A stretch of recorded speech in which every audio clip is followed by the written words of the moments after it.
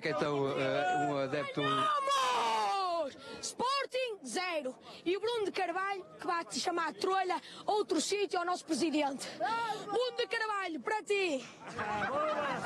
Alguma irreverência?